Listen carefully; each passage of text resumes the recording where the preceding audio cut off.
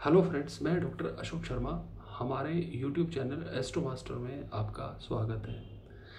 आज हम चर्चा करेंगे कि कुंडली देखकर कैसे पता चले कि किसी व्यक्ति विशेष को कौन सी बीमारी होने वाली है या कौन सा रोग किस ग्रह से मिलेगा।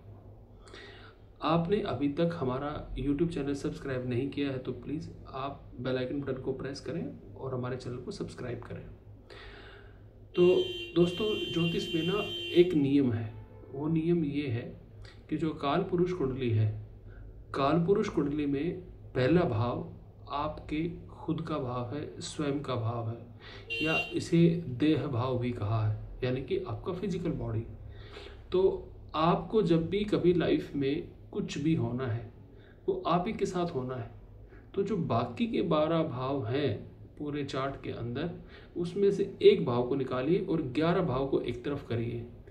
हर भाव से रिलेटेड चीज़ आपके साथ जीवन में घट रही है, वो पहले भाव के साथ घट रही है। तो ये भाव आपकी देह का भाव है, आपकी बॉडी का भाव है, शरीर का भाव है। तो जब शरीर का भाव है तो जब शरीर कहीं पर भी पीड़ित होगा या उसे कोई परेशानी, कष्ट होगा तो इसका मतलब ये है कि आपको पहले भाव को ज़्यादा प्रेफरेंस देनी है या ज़्यादा महत्व देना है हर चीज़ में, क्योंकि वो आप खुद हैं। तो फ़र्स्ट हाउस में हम लोग आपकी बॉडी को देख रहे हैं और बॉडी में भी आपका हेड पोर्शन यानी कि आपका गले के ऊपर का जो हिस्सा है, सर है, उसे देखते हैं कालपुरुष कुंडली में। अब प्राशर जी ने आपकी पूरी बॉडी को ना बारह भागों में बांटा हुआ है और इन बारह भागों में जिस भाग में कोई भी अशुभ ग्रह होगा या उस भाव का जो स्वामी है, वो पीड़ित होगा तो उस हिस्से के अंदर आपको बीमारी विशेष का सामना करना पड़ेगा। जैसे मैं आपको बता रहा हूँ एग्ज़ाम्पल के लिए। मान लो फ़र्स्ट हाउस आपके सर का है। तो आपके फ़र्स्ट हाउस के अंदर जब भी कोई मेलेफिक प्लेनेट बैठेगा जैसे कि मान लो मंगल बैठता है या सूर्य के केस में भी देखा जाता है, शनि बैठता है तो आपको अक्सर हेडेक की शिकायत रहती है सर दर्द की शिकायत रहती है। आपके सिर में भारीपन रहता है। ठीक उसी तरह अगर मान लो फोर्थ हाउस है तो वो आपके चेस्ट का एरिया है। तो जब भी कोई फोर्थ हाउस में मेलेफिक प्लैनेट बैठेगा, अशुभ ग्रह बैठेगा तो वो आपको छाती के अंदर रोग देगा। वो आपको कफ के रोग हो सकते हैं, फेफड़ों के रोग हो सकते हैं, हार्ट के रोग हो सकते हैं, पेट के उपले हिस्से के रोग हो सकते हैं। इसी तरह बारहवें भाव में जाएँगे तो वो आपके पैरों में दिक्कत दे सकता है, क्योंकि बारहवा भाव आपके पैरों का है। तो ठीक इसी तरह पूरे शरीर को पराश्रित ज्योतिष में बारह हिस्सों बांटा है। और अलग अलग जितने जो आचार्य हुए हैं उन्होंने भी यही यही लिखा हुआ है। वो उन्होंने भी पराशरी नियम को ही फॉलो किया है। अब जातक अलंकार है, वो भी यही कहती है कि देखो, बीमारी देने वाले ना, हम लोग जब सिद्धांत ज्योतिष की बात करते हैं तो चंद्रमा, बृहस्पति, शुक्र, चंद्रमा यानी कि छीण ना हो, तब ये ग्रह नैसर्गिक रूप से शुभ ग्रह हैं। लेकिन अगर चंद्रमा नीच है या अस्त है तो ये क्षीण चंद्रमा, ये आपके लिए कभी भी शुभ ग्रह नहीं होगा। आपके लिए नैसर्गिक रूप से पाप ग्रह जो है, या अशुभ ग्रह कहें, राहु, केतु, शनि, मंगल, सूर्य, ये पाप ग्रह नैसर्गिक रूप से। तो कहने का मतलब ये हुआ, ये जो ग्रह है, जब आप रोग के बारे में किसी भी भाव का एनालिसिस करेंगे या किसी कुंडली का एनालिसिस करेंगे, विश्लेषण करेंगे तो आपको समझ में आएगा। ज़रूरी नहीं है कि कोई नैसर्गिक शुभ ग्रह है वो आपको हमेशा स्वस्थ ही रखेगा और जो अशुभ ग्रह है वो आपको बीमारी ही देगा। ऐसा नहीं होगा। हम चंद्रमा को लेते हैं, चंद्रमा शुभ ग्रह है, लेकिन आपकी हेल्थ खराब करने में, आपको बीमार करने में चंद्रमा का बहुत बड़ा हाथ है। चंद्रमा चार्ट में किसी भी व्यक्ति का अगर कमज़ोर है या अशुभ है तो निश्चित रूप से वह वह मनुष्य रोगी रहेगा। बाकी घरों की स्थिति कुछ भी हो, रोग कम हो सकता है, वो जो परेशानी कम हो सकती है, लेकिन आप उसे बच नहीं सकते।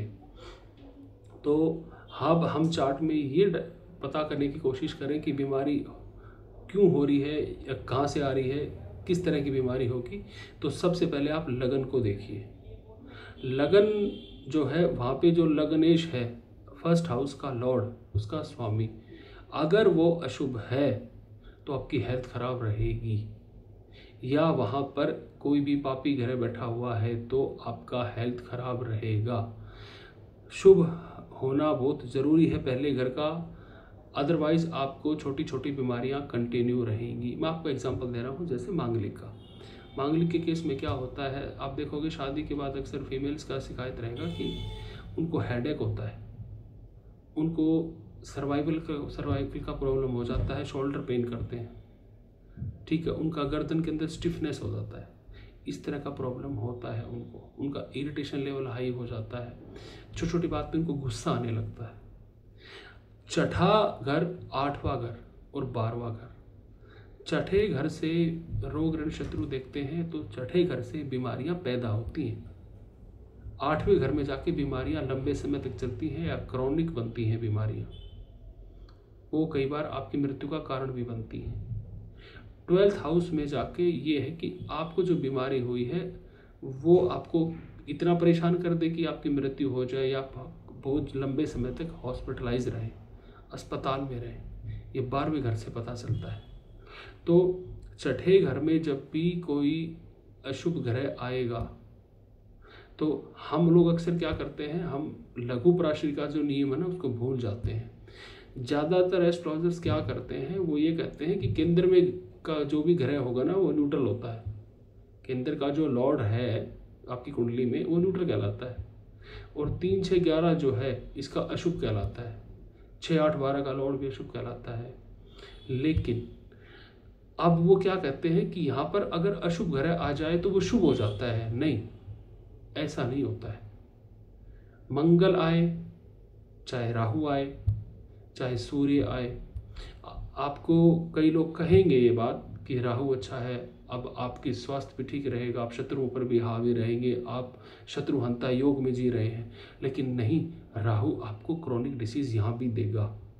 ऐसी डिसीज़ देगा जो इजीली डॉक्टर की पकड़ में ना आए। ठीक है, सूर्य भी यहाँ पर आपको प्रॉब्लम देगा। आपको डाइजेस्टिव सिस्टम की प्रॉब्लम देगा। आपका बोन्स में प्रॉब्लम देगा, आपकी आँखों में प्रॉब्लम देगा। आपकी इम्यूनिटी को वीक कर देगा। हो सकता है आप जॉब में अच्छा कर जाएँ। ठीक है? आपको थोड़ा सा ये मतलब आपको डेड ना हो, लेकिन हेल्थ खराब ज़रूर करेगा। ऐसा नहीं होगा कि आप स्वस्थ रहेंगे। आठवें घर के ग्रह को देखिए, जो भी ग्रह वहाँ पर आ रहा है, वो आपको लंबी समस्याओं से जूझने के लिए बिल्कुल एक साइड में रख देगा। आपको जूझना ही पड़ेगा। आपको कंटिन्यू परेशान करेगा वो ग्रह। तो जब भी चंद्रमा आपके चार्ट में खराब हो तो बीमारी होगी। मंगल, जो खुद आपकी बॉडी का, को बॉडी को रूल करता है, आपकी बॉडी में जो एनर्जी है, उसको रूल करता है। आपकी सारी जो क्षमता है, जो आपका स्टेमिना है, उन सबको मंगल रूल करता है। अगर मंगल चार्ट में ख़राब होगा तो इन चीज़ों में गड़बड़ आएगी। आप कोई भी चीज़ आराम से कंफर्टेबली इजीली नहीं कर पाएँगे। दो ग्रह चार्ट में सबसे ज़्यादा इंपॉर्टेंट है। बाकी कुछ कहते हैं कि राहु राहु ये करता है, मंगल ये करता है, सूर्य करता है, बृहस्पति करता है। वो ठीक है, वो वो बीमारियाँ देते हैं, लेकिन बीमारियाँ होती किस पर है? चंद्रमा आपका मन है। मन से बीमारी एंट्री करती है, या आपके शरीर से बीमारी एंट्री करती है? वो मंगल है। इन दो घरों का अच्छा होना ज़रूरी है। आपको कितनी ही बड़ी बीमारी हो, चाहे राहु, कैंसर ही क्यों ना दे रहा हो। चाहे मरक्यूरी आपको पैरालिसिस ही क्यों ना दे रहा हो, ठीक है? चाहे आपको जुपिटर आपको अस्थमा ही क्यों ना दे रहा हो सैटन चाहे आपको आर्थराइटिस ही क्यों ना दे रहा हो, अगर ये दो ग्रह अच्छे हैं तो आप इन चीज़ों को आसानी से झेल जाओगे।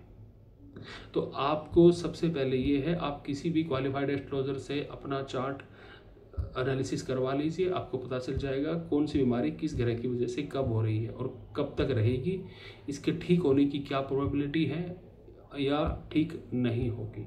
आपको ज्योति समझ में आती है, आप स्वयं भी देख सकते हैं। तो दोस्तों, ये वीडियो आपको कैसा लगा? आप कमेंट में ज़रूर बताएँ और इस तरह के वीडियो आगे देखने के लिए भी हमारे चैनल से जुड़े रहें। आज के लिए इतना ही। Thank you.